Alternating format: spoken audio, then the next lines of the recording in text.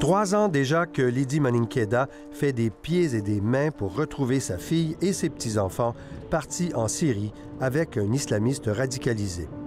Elle mène une croisade pour convaincre les autorités françaises de ramener sa famille au pays en sécurité. En novembre 2014, plus de nouvelles de notre fille sur Skype. Et donc, fin novembre, la maman allemande nous apprend qu'ils sont arrivés en Syrie. Donc là, ça a été euh, voilà, euh, le début du cauchemar, je dirais. J'ai toujours cru qu'un jour, je marierais ma fille. L'inquiétude de Lydie a fortement augmenté ces derniers mois avec la progression des forces de la coalition internationale contre Daesh. Et puis, il y a quelques semaines, la terrible nouvelle lui est parvenue. Ce qu'on redoutait est arrivé. C'est-à-dire qu'on a appris le décès de Julie, euh, on a appris le décès de Julie par l'intermédiaire d'une maman qui a sa fille là-bas. On ne connaît pas exactement les circonstances de son décès. Mais la jeune grand-mère apprenait aussi que les trois enfants de Julie avaient été localisés dans un camp du nord-est de la Syrie, un camp sans supervision médicale où les conditions de vie sont très dures. Le plus jeune des trois, qui a moins de deux ans, a été blessé par des éclats d'obus au visage et à la jambe. Ce militant des droits de la personne revient du camp syrien Al-Hol où il a pu voir les trois petits de Lydie Maninkeda. Les enfants sont malades, ils ont besoin d'un suivi médical. Euh, juste pour vous donner un exemple, le petit-fils de Lydie qui a un an euh, a été blessé dans le passé par des éclats d'obus.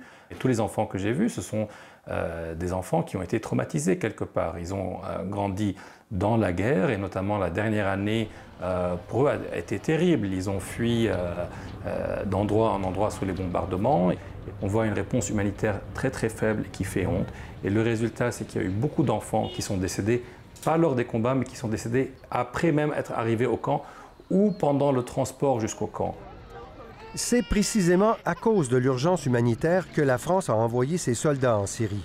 Une opération menée dans le plus grand secret pour sauver les enfants les plus mal en point, dont les trois petits-enfants de Lydie et deux autres fillettes. Pourtant, le gouvernement avait déjà affirmé que les djihadistes français et leurs familles n'allaient pas être secourus. Il peut y avoir la situation euh, des orphelins. Sauf que c'est une vraie difficulté.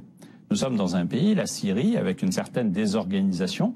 Les enfants ne sont pas sous l'autorité euh, du gouvernement français, des soldats français. Euh, et puis il ne m'appartient pas de dire tel ou tel enfant, il est français, ben, je vais aller le chercher. Ça n'est juste pas possible.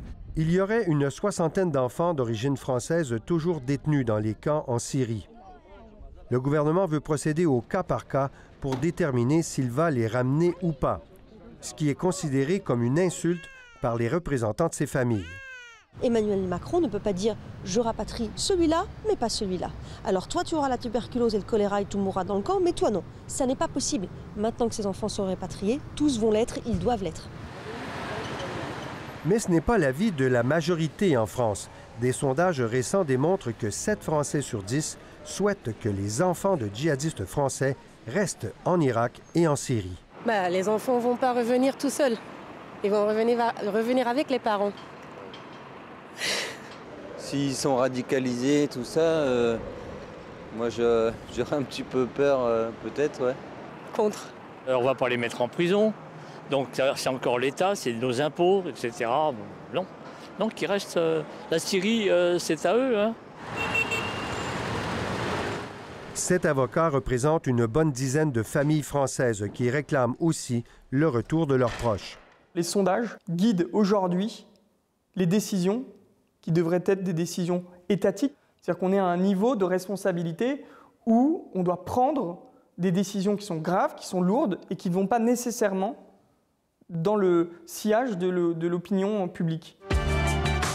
Bonsoir Lydie. Bonsoir Patrice Maninkeda. Merci de votre présence à tous les Lydie Maninkeda a été invitée sur de nombreux plateaux de télé au cours des dernières années. Son message sur l'innocence des enfants pris au piège dans les combats en Syrie a porté. Elle a gagné une première manche. Ses petits-enfants ont été rapatriés. C'est un bonheur, euh, mais un bonheur amer parce qu'on sait qu'on n'a plus notre fille. Et puis c'est un nouveau départ.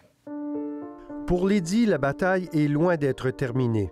Les petits sont hospitalisés, ils seront soumis à une batterie de tests physiques et psychologiques. Au cours des prochaines semaines, ils seront probablement confiés aux services sociaux de l'État. Ce que je souhaite, c'est que ces enfants reviennent, qu'on en ait la garde, qu'ils puissent venir vivre ici, dans cette maison où a vécu leur mère, qu'on puisse leur apporter euh, bah, tout l'amour qu'on n'a pas pu encore leur apporter, parce que on les a jamais